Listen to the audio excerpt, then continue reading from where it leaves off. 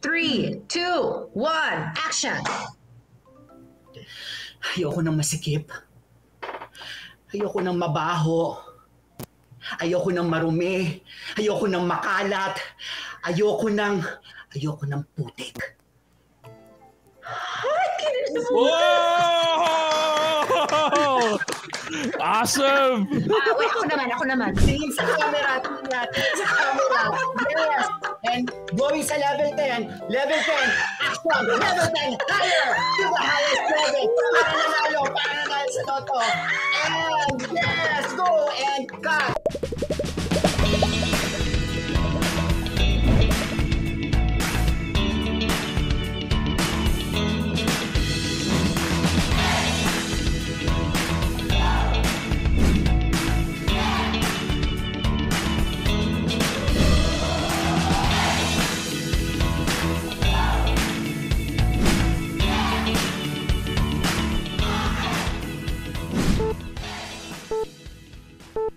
This is your favorite dog podcast in the Philippines, The Dog Behind the Human. Of course, with me, your host, Dog Coach Francis, and my wonderful co-host, Tina Ryan. Hi, Coach. Kobe says hi. Hello, Kobe. Tina, meron tayong bagong segment ngayon at syempre, meron tayong uh, guest na sigurado ako magiging special ang kwentuhan natin ngayon kasi napaka-interesting ng guest natin and makwela. Okay, first of all, I want to thank you and the rest, and uh, Mrs. Coach and the rest of uh, the, the Siri Media team for the awesome editing you guys made for Macho Chismisan. And yours truly, nung nag-vlog kami ng kotse, ng Aha. cherry. And naisip ko lang, OMG, ang next kong isasakay, eh itong guest natin. Bakit Oh. makapagmaneho? Baka mabangga ka. Tina! Tapos mga okray lang. so, ladies and gentlemen, on the show tonight, the dog behind the human, we have veteran actor and one of my faves growing up, Mm. Mel Martinez. This is Chichi! Chichi, say hi! Hello, Chichi. Chichi! Chichi! Her name is Chichi! Chichi, say hi! Chichi, Chichi is um, uh, uh, is he a Shih Tzu? Yeah, Chichi is a Shichon. Ay, so siya. Uh, it's a it's a it's a crossbreed between Shih Tzu and Bichon. So siya. Ah. So good evening, good evening. Thank you, thank you, uh, Coach Francis, and of course the legendary DJ Tina Ryan. Of course. Sabi ni Coach Francis kanina, legendary DJ. So thank you for Ito having naman, me. di ba? The dog behind the woman. Hihingi ako ng tips sa'yo kung paano magpatulo ng luha na parang gripo. Ganon. Oh my God. Oo, sige. Pwede Gusto tayo yan. mag-ano mamaya. Pwede tayo kung gusto mo mag-workshop online. Workshop on air, di ba? Or ano? But anyway, Mel, thank you so much for joining us tonight. What's keeping you busy now? Okay. Uh, number one, I have a show. It's the Mel and Tony Show. It's an online talk show sa Facebook. Uh, I'm with my uh, a very good friend, si Tony ko. This is every Tuesday to every Tuesday. It's an online parang lifestyle magazine talk show. The Mel and Tony Show. Ayan, ayan. Yes. as you can see on your screen. so every Tuesday siya, every Tuesdays, ah 6, 6 p.m. kasi nasa MECQ tayo, one hour lang siya. It's ah, nasa K5 Digital Media. So I'm inviting everyone to please follow our page, The Mel and Tony Show, on Facebook, pati na rin ang K5 Digital Media. So that's one. Isa yun sa ginagawa ko. Number two, I also have a YouTube channel, The Mel Martinez Channel. the Mel Martinez Channel. yung, yung channel ko naman ngayon, it's about adventure trip. Kita ko nga yung naglalakad ka sa ano eh. Oo, sa forest, di ba? Parang Amazona lang ako doon. Gusto, diba? gusto mo bang i-ano kita, online workshop kita ngayon? On Oh? I- you know what? I love that. I love that. Sige, mag, Coach, yung ano, yung mag-workshop sa tayo. Si Tina, si Tina No, let's do this. Let's do this. First time natin gagawin to. We are going to have an acting workshop with Coach Mel Martinez. And uh, Coach Francis participating. Um, and co-coach natin si Tina Ryan. Put Tina Ryan, uh, the legendary 90s DJ and the queen of Philippine radio. Yan. Madami magagalit, no? Baka sampalin ako na ni Nicole Yala, sabihin na queen queen siya ngayon ng queen. Diba? But anyway. Kanya-kanyang um, ano yan. Oh, ah, Panahon yan. Tina, nakapag ano ka ba? Naka... Uh? Internalize? Internalize ko na ba?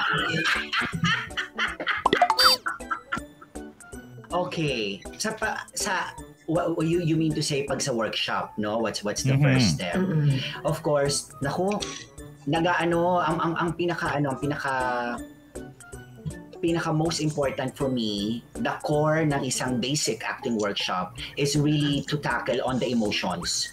What, what are the four kinds of emotions? Happiness, sadness, fear, and anger. Okay? Wow. So, kailangan, Emotions. maano yun eh, kumbaga parang dapat mailabas yung happiness, sadness, fear, and anger sa'yo. So, kumbaga, kailangan mai unleash yung potential nung four emotions sa'yo. Kailangan maibigay yun to the highest level, which is level 10. Para at least Mhm. malaman mo yung kapasidad mo sa pag-arte.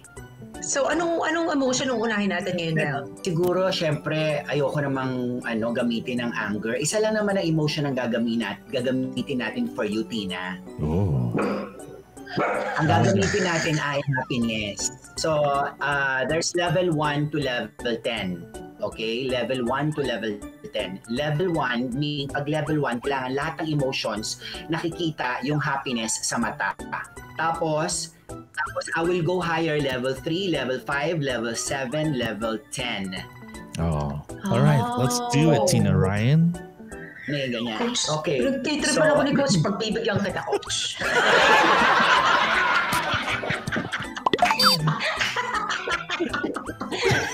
Ayun na, anong level na ba to? Tingin lang muna sa camera, Tina. Tapos on my cue ha, mag-voice cue ako. And here we go. 5, 4, 3, 2. Action level 1. Nakikita sa mata ang happiness. Kitang-kita. Sobrang saya. 'Di ba? Kumbaga, sabi nga ni Tyra Banks, nagsismiles. Nakikita yung full-blown na happiness sa mata. Okay, going sa level 3. Level 3, action, go. Ayan, may smile na yan. Nagsismile na yan. Yan. Very 3. Yeah, level 3. Going sa level 5. Level 5. May tawa na yan. May sound na. Tuwang-tuwa na. Tuwang-tuwa na siya. Tuwang-tuwa na. Going sa level 7. Level 7.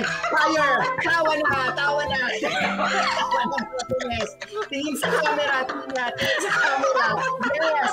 And going sa level 10. Level 10. Action. Level 10. Higher. To the highest level. Para nanalo. Para nanalo sa loto. And yes. Go. And cut.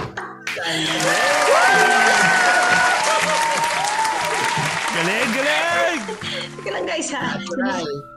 That was really entertaining. Nagpawis ang kilikili ko doon, Coach ha. Oo, oo, oo.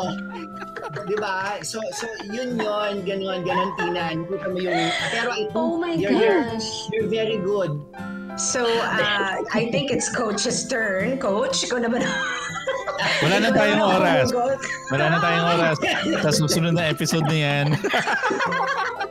um, Mel, it, ano, ano, it appears to me na, well, napakahilig mo sa aso. So, when did this start? Yung pagka-fascinate mo sa aso and how does it relate sa paghugot mo ng emotion when you think about your dogs? Okay, kasi growing up, may ano na kami, mahilig na talaga ang family ko sa aso. Naalala ko si Scotch. Si Scotch yung pangalan nung aso talaga na una-una kong nakilala. Halak, halak talaga yun, Scotch. Oo, si Scotch. At saka ano to ah, si, si Scotch 15 years sa amin. Tapos, Tapos, Oo, tapos growing Wow. up, tapos yung, yung, yung mga iba ko ding kapatid, kahit nga askal na dog stray, bu- pinu, inaano namin, ina-adapt namin para meron Wow. silang tirahan and everything. So, ah yun yung nag, nagtulak sa akin na mag mag-love sa dog. Kasi growing up, I, I, I saw my, my siblings the the love, yung love na binibigay nila sa aso. Yung sa pag sa paghugot sa akin, it's because of the love that they give to us. You know, mawala man ang jowa, mawala man ang kung ano man. so, ang aso, they will be the one to give you the unconditional love. Sila lang. And I thank you. I love it. Pero alam mo ba, meron din akong um, ibibigay na trivia since we're talking about yun sa pag-aarte and then the emotions, yung paano hugot.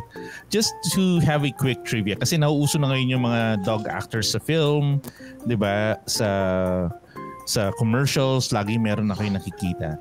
One quick fact is, dogs don't really act. Hindi sila umaarte. Okay? Kung ano yung nararamdaman nila when you're shooting that particular scene, authentic yon Kung talagang kailangan nilang matakot at makikita mo matakot yung aso, at kung natakot sila, authentic yon Kung galit sila, katulad nung ano, I still have to do a reaction video, kunwari dun sa John Wick. Meron mga German, mga Belgian Malinois ata yun or German Shepherd, I think. Hmm. So, yun, pag-atake nila dun sa mga bad guys do, that's really authentic na bite talaga. That was uh, the dogs were not acting. They were really have that intention to hurt that stuntman kasi yun yung nasa mindset nila. Papasok ko lang yung word of the day natin ngayon na babasahin ni Tina Ryan. Tina, meron tayong word of the day. Baka di ko na ma-pronounce, ha? Hindi na ako irespeto ni Melco.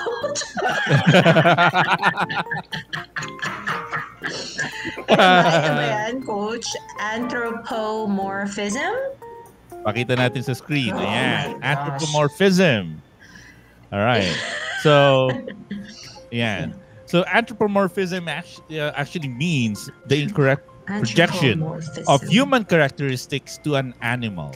Example, I ate all the yogurt that I normally share with my dog. So she threw up on my shoe to punish me. So, yun yung mga ilang example na anthropomorphism. Minsan kasi we put the human emotion into an animal. Na parang, ay, kaya ano, kaya inihian niya yun yung bago kong sapatos or nginat-ngat niya yung bagong, bago kong sapatos kasi hindi ko siya pinapansin maghapon.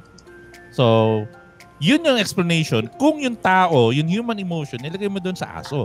Pero, baka hindi yun ang iniisip ng aso na gagantihan ko si ano, si mommy or si daddy. Ang iniisip lang nila is probably thinking like a normal dog, I'm bored. Oh, look at that. This tastes chewy. Oh, nandito pa yung amoy ni mommy and ni daddy. I like it. I'm gonna play with it. ba? Diba? So, iba kasi iniisip ng aso dun sa iniisip ng tao. And minsan, yun yung ginagawa natin dun sa film din. No? We put too much human emotion on the dog na minsan hindi hindi akma. Yan. So yun. Antrop- anthropo, ano? Ant- anthropomorphism. Oh, anthropomorphism. Oh. Oy, isang baksakan. Yeah. Eh, galing ah. Anthrop- hindi ko Thank you for Galing talaga ni Coach.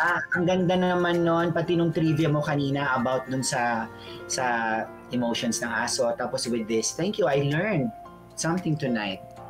Oh, lalo pa natin Lalo pa natin kikilalanin si Mel Martinez sa susunod natin na segment. And this segment is called The Zoomies Round.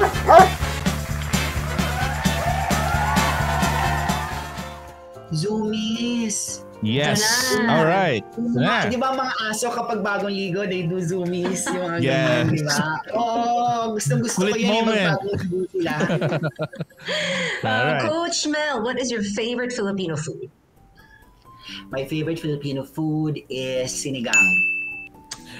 What is your favorite local film? Local film, uh, yung pelikula ni Maricel Soriano, yung um, Ikaw Lang Mamahalin. Uh, mas madali ba magpaiyak o magpatawa? Para sa akin, mas madali magpaiyak. Kung ako ha, mas oh. madali akong umiyak kaysa sa magpatawa. Have you ever sent a text message to the wrong person? Yes. Alam mo naman siyempre minsan may mga tanga-tanga moments tayo. Nagagawa ko rin yan. Who is the queen bee in your friend group? The queen bee in my friend group is me. Oh. All right. If you had a warning label, what would it say? Uh, handle with care. Ooh. Oh, I love it. Kasi tingnan natin yung handle with care. Fragile tayo. Yes. Marupok. Tapos manipulate. Now, if you're about to get into a fight, what song comes on as your soundtrack? We found love in a hopeless place. Wow. Iiyak ko na kung na Iiyak ko na kung na ano eh. Ko na Rihanna talaga. Kanina nag-workout ako. Kanina nag-workout ako. Siya, ano ako ng ano, push up ako ng push up po. Pag narinig ko yung kantang yun, napapa-push up ako. Ang ganda kasi yung beat. Coach, Um, next if question. you, uh, Mel, if you go anywhere in the world, where would you go and why? I wanna visit Austria. I wanna visit Oh. Austria. All right, and then uh, meron tayong mapagawang uh, last challenge siguro kay Mel kasi merong magandang comment dito si si Ian Lorenzo pero maganda siguro if you can act this out for us. So, Oh my God, ayan. teka muna ng movie to ulit. Ano ka ba? Ah, kaya ko abutin ng langit. Oh, alam. ah. okay, konting arte. Voice voice naman to eh. So, pwede, let's go. Do you need the script? Patanggalin ko na to. Alam mo naman na siguro to, di ba? Yeah. Tanggalin natin para makita natin Ay, si Mel. kabisado. Alright, kabisado to. Let's hear it. Nabasa ko na. Naba, nabasa ko na Okay. siya. Meron naman ako kasing pornographic memory. Kaya okay lang. okay, let's see it. Etchos lang, etchos lang. Game? Game. Bigyan mo naman ako ng cutie na 5, 4, 3, 2 action. Okay, ready? Three, two, one, action! Ayoko ng masikip. Ayoko ng mabaho. Ayoko ng marumi. Ayoko ng makalat. Ayoko ng... Ayoko ng putik. Whoa! Awesome! Ah, wait, ako naman, ako naman.